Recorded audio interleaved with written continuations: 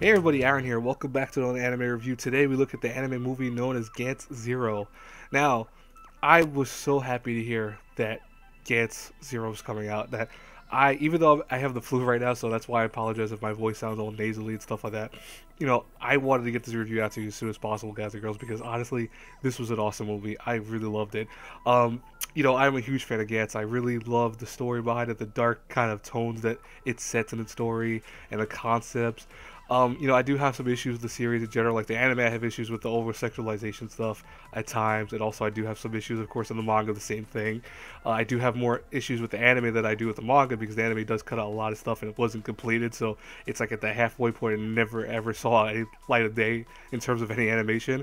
So that's why when I heard that the anime was coming out, like an anime movie, excuse me, for Gantz, I was stoked. I was like, oh shit, let me go check that out.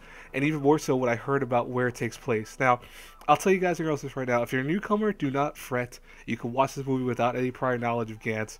Um, actually, what's funny about this is that's how well this movie was done. I give props to the director of this because it's done in a way that if you are a newcomer, you won't need to know too much backstory.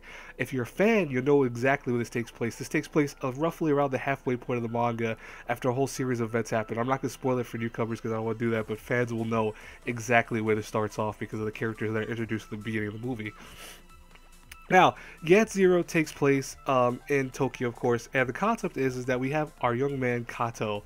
Kato is a young high school student who unfortunately gets killed off by a uh, knife wielding murderer who is just a psychopath. And he just stabs him. And he, he, was more so trying to help this old man after he got stabbed. But you know, Kato ends up getting killed. Now, when Kato gets you know wakes up all of a sudden, though, he's in a strange room with a black orb in front of him and two people dressed in these weird outfits, telling him that he technically died, but at the same time he's kind of alive, where he gets put into a game where he must score points if he wants to have any chance of coming back to life by killing off creatures, aliens, and monsters that exist in Tokyo that the world right now is seeing because they're coming out of the woodwork. And his team is like really the only ones that are able to do it for the sentient being known as Gantz, which is, like I said, the giant black orb that you know tells them, hey, listen, you have to do this by a certain time, etc. Otherwise, they will die completely. Now, you know, fans will know the darker stuff that Gantz has to offer. And unfortunately, probably the weakest part of the movie is the fact that it doesn't really focus on some of the more detailed lore behind Gantz. It focuses more on just this one incident which takes place, and it's more so a one giant battle, which don't get me wrong was not bad at all. It was awesome to see, but you know, if you really want to know a lot more about Gantz, I would really suggest maybe reading some of the manga first and foremost before watching the movie. But you don't have to. I'm not saying you really have to, but I'm just saying you do miss out on some little lore and tidbits of characters and stuff like that.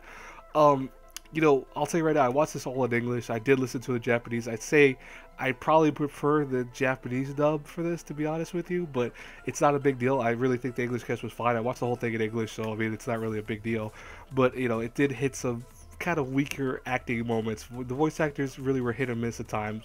Uh, sometimes they were really well done, and sometimes they were kind of like meh. Uh, music wise, I love the music. I thought the music was awesome. The animation really though is what I want to focus on. Where this is probably one of the best parts of of Zero is the fact that it looks gorgeous. I mean, this looks like a Final Fantasy anime movie, and it was just so the CGI was so well done. There are some parts that are a little weaker in terms of CGI. It's more so the characters at times look a little weak, and there's some questionable character designs in general, but it's not really a big deal enough that I say it's any issue with it. Um, probably, like I said, the only issue I have with this whole movie is the fact that I wish it would have delved into Gantz a little bit more. But I understand that they don't want to do that because I think they would try to aim more fans of the series. But like I said, I give them credit for the most part for saying that, you know, hey, even a newcomer can enjoy this movie. And I, I that's really kind of a rare thing in general for anime movies because typically anime movies based off of series or ongoing series or manga etc tend to have issues with that like where you can't jump into it without knowing some of the past lore.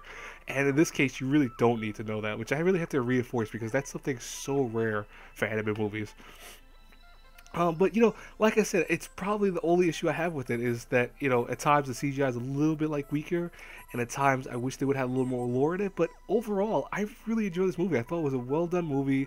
Um, you know, I like I said, the voice acting in English especially is kind of weak, but you know, Japanese is okay. I, I, think more so I'd rather watch it in English just so I can focus on every little tidbit of action that's going on screen. Because trust me, if you love gory things that are like if you know Gantz at all, you know that this is a gore fest movie. This is something definitely rated M.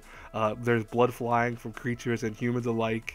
The whole concept is crazy, and I really don't want to spoil any of the concepts in the show because it's more so something that I think when you get into watching it and you just are surprised by almost the weird esque like the weird s game that's thrown that these characters are thrown into it's very interesting and it's always something kind of baffling to me that people have not tried Gantz at least once because I've met a lot of people I've never heard of Gantz and that's such a shame. You know if you've never seen the series really I, I have to say go check out the series out if you're a huge anime fan. If you don't like anime more so are focused on manga go check out the manga for it because the manga is finished as of now. It's been done for several years but I love the manga series it was really well done um, but going back to this movie, honestly, if I had to review this between an A through F, I thought about this and I was going to give this a lower score first, but you know what? I can't find too many issues with it. That's why I have to give it an A minus at least. Because honestly, you know, besides being a fan of the series, I was really surprised on how well this movie came out. For I think someone that hasn't, because I haven't read the manga series in quite some time. It's been at least three or four years um, since I read it. I think the last last chapter I read when it finished was what I finished at. So whatever that came out, that's when I stopped reading and stopped really paying attention to the series at all. But you know, I went right into this and I was like, oh, I know who these characters are. I remember Kato, I remember the old man, etc. I remember Nishiki, who's the one um, weird kind of stealth dude who kind of acts like an asshole. You know, it was interesting to see that. Overall though i really highly recommend checking this out. This is on netflix so you can watch it right now if you have a netflix account. It, you know that's really awesome. I think that's really well done of netflix to do that. So honestly guys and girls i hope you enjoyed this review. Like i said i apologize for my voice and all that.